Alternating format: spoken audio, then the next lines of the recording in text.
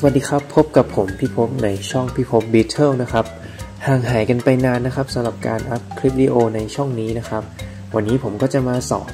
การเลี้ยงตัวอ่อนของด้วงกวางชนนะครับสำหรับท่านที่สนใจอยากเริ่มต้นเลี้ยงนะครับ เป็นด้วงที่เลี้ยงง่ายมาก ๆ เลยครับครับก่อนอื่นก็ต้องอธิบายกันก่อนนะครับ ว่าด้วงกวางที่เราเลี้ยงนะครับ ก็คือด้วงกวางชนไทยนะครับ มีลักษณะและวงจรชีวิตดังนี้นะครับ ด้วงกวางชนไทย ตัวผู้นะครับก็จะมีเขานะครับสองเขาบนล่าง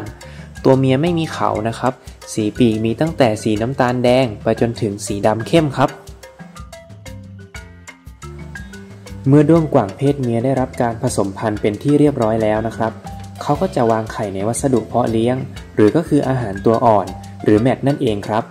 โดยไข่เริ่มแรกเนี่ยมีสีขาวลักษณะกลมรีนะครับ และก็จะค่อยๆ กลมขึ้นเรื่อยๆ และก็ฟักออกเป็นตัวอ่อนระยะที่ 1 ในที่สุดครับ ตัวอ่อนด้วงกว่างในแต่ละระยะนะครับ ก็จะมีการพัฒนาร่างกายจากระยะที่ 1 สู่ระยะที่ 3 ด้วยวิธีการลอกคราบครับ ตัวอ่อนระยะที่ 3 คือระยะที่กินเวลายาวนานที่สุด และถือเป็นระยะที่สำคัญที่สุด ตัวอ่อนจะเติบโตเป็นตัวเต็มวัยที่สมบูรณ์ และเขายาวได้ อยู่ที่การดูแลเลี้ยงดูในระยะนี้ครับ ซึ่งตัวอ่อนที่มีน้ำหนักมากกว่า มีโอกาสเป็นตัวเต็มวัยที่มีขนาดยาวกว่าครับ ต่อมาเมื่อตัวอ่อนสะสมพลังงานจนเพียงพอแล้ว ก็จะลอกคราบพัฒนาร่างกายเข้าสู่ระยะดักแด้ เป็นระยะที่ไม่ต้องการกินอาหารแล้ว รอแค่เวลาที่จะเป็นตัวเต็มวัยเท่านั้นครับ และในที่สุดด้วงกวางของเราก็ออกเป็นตัวเต็มวัยพร้อมที่จะผสมพันธุ์ต่อไปครับ โดยในระยะนี้ด้วงกวางจะไม่ทานแมทแล้ว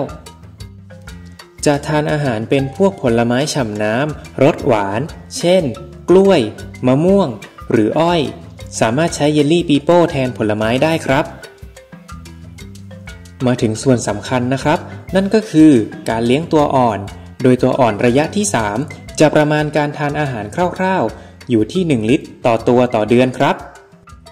โดยอาหารของเราจะบรรจุถุงซิปล็อกทำแห้งไปให้นะครับ วิธีการใช้ให้ผสมน้ำพอหมาดๆ สามารถกำเป็นก้อนได้ครับ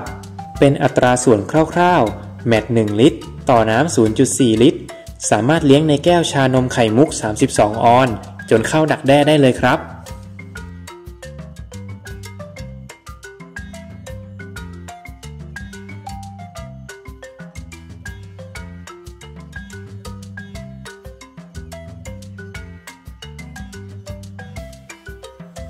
เป็นยังไงกันบ้างครับสำหรับวิธีการเลี้ยงตัวอ่อนของด้วงกวาง